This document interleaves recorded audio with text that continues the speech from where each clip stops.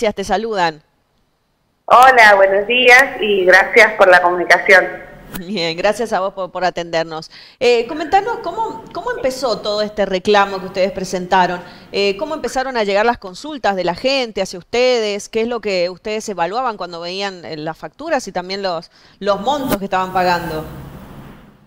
Bueno, nosotros desde el año pasado venimos recibiendo denuncias de eh, altos montos en las facturas. Hicimos un estudio desde la federación en diciembre y en, y en mayo de este año donde eh, de diciembre a mayo el aumento fue del 73% en las boletas de energía.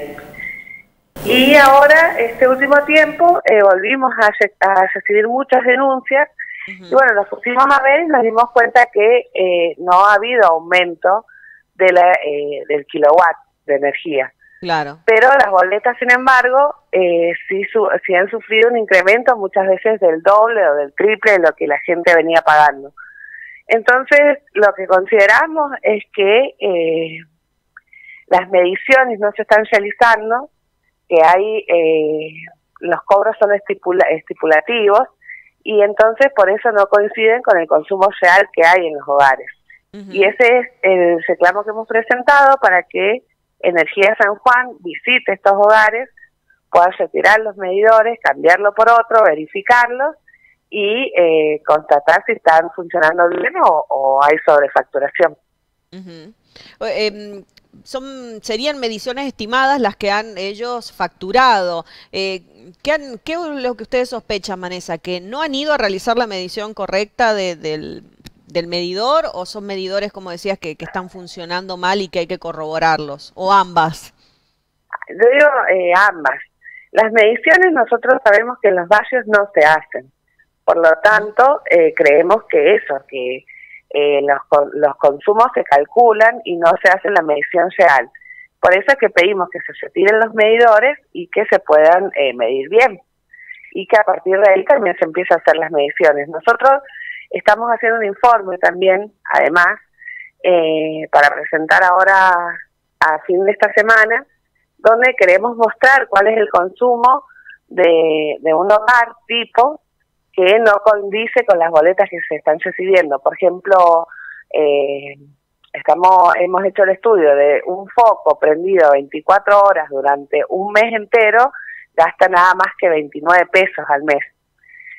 Entonces queremos hacer lo mismo con el resto de, bueno, de los artefactos que hay en un hogar para sacar una cuenta de cuántos kilowatts se gasta en el mes una familia tipo. Porque lo que vemos es que hay un cargo variable y un cargo fijo. El cargo fijo va entre 300 y 400 pesos dependiendo de la zona y otros factores. Y el cargo variable en todas las boletas está entre 3.500 y 4.500 pesos, que es una barbaridad. Y después de ahí hay que sumarle casi el 80% que es de eh, impuestos que pagamos en la boleta de la luz.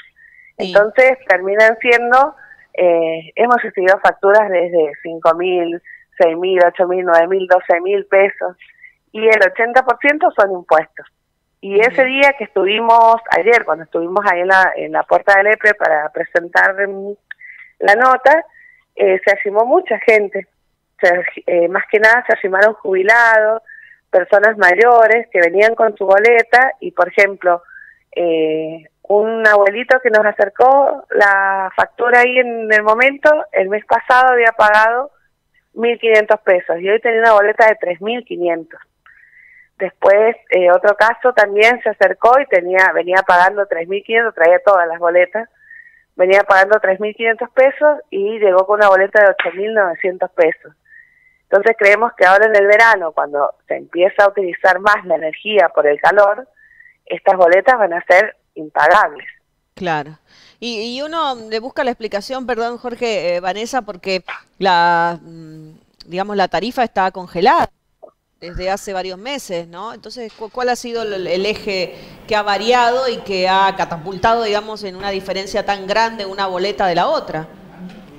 Claro, exactamente eso es lo que queremos eh, que quede en evidencia.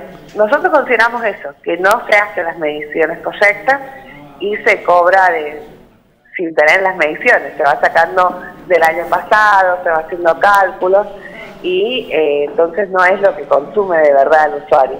Por eso es que vamos a presentar este informe, hemos, hemos hecho esta presentación ayer, que hemos eh, dejado un expediente abierto para que todos los sanjuaninos que tengan el mismo problema pueden ir por el EPRE, llevar su boleta con el número de teléfono y anexarlo al expediente de la Federación Sanjuanina por la Equidad para que también entren en el reclamo. Y la otra semana vamos a ir a la legislatura para eh, hacer eh, presentar un proyecto con el tema de eh, los impuestos de la boleta.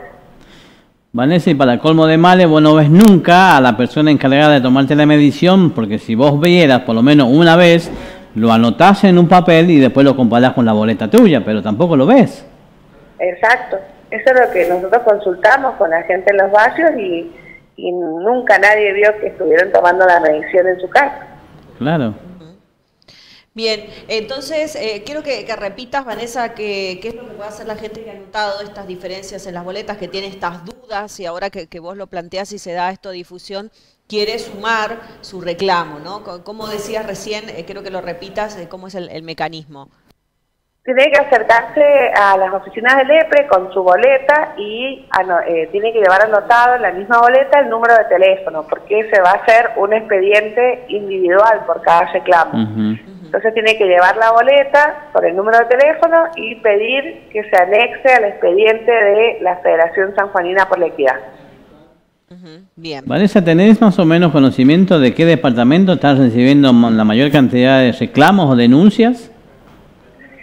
Y hemos recibido ahora principalmente el Gran San Juan, pero después, ese mismo ayer, cuando estábamos en la la mañana ahí, por ejemplo, nos llamaron de la, un ensayo de iglesia, donde nos comentaba que había pasado en muchas familias lo mismo.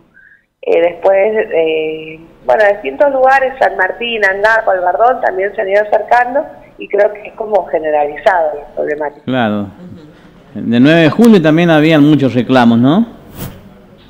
Sí, nosotros hemos llevado eh, ayer lo que habíamos recibido durante el fin de semana pero después se han ido sumando muchos.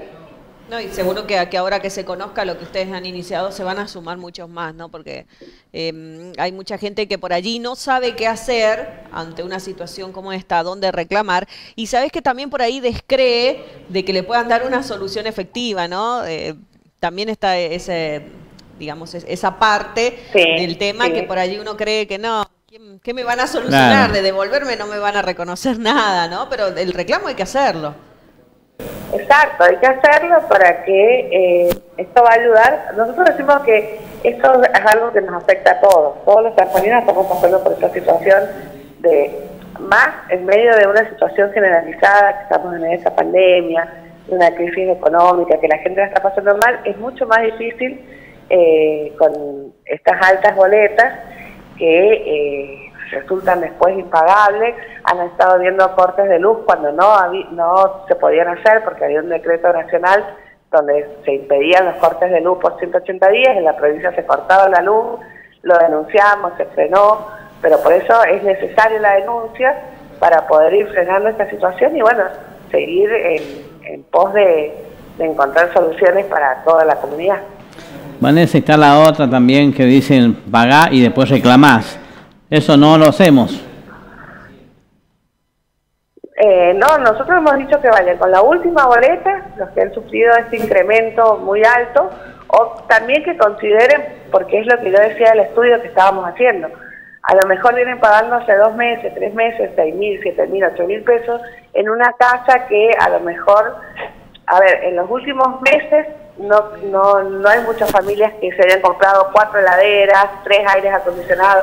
Se han aumentado el consumo en las familias para que este, a veces es de un mes para el otro y a veces los aumentos son progresivos. Pero no debería ser así, por eso es que queremos hacer el, el estudio que demuestre eh, cuánto se gasta realmente de energía en un hogar. En un hogar que, eh, que tenga los elementos que tiene todo, eh, todo el mundo, un televisor, un aire acondicionado, un lavarropa, eh, una heladera y los focos, que es lo que tiene normalmente, porque se acercan personas de, de barrios muy humildes con boletas de 8 mil pesos que eh, no hay forma de que hayan alcanzado ese consumo. Así que todos los que tengan eso tienen que aceptar el, reclamo. A lo mejor puede variar muy poquito, porque ahora como estás en casa, a lo mejor ocupás un poquito más la, la energía, pero tampoco tanto. Claro, ¿no? Por eso eh, las boletas que hemos llevado tienen un incremento entre 50, 60, 70%. Es, es, considerable. Y lo que nos preocupa es que en el verano va a ser mucho más. Exacto. Bien, Vanessa, te agradecemos la comunicación con Sonda Noticias y con nuestro diario 35. Bueno, muchas gracias a ustedes. Bien, vamos a, ir, vamos a seguir también los detalles de cómo, cómo marcha el reclamo, ¿no? Para conocer eh, cuál es la respuesta. Gracias, Vanessa. Bien, gracias, hasta luego.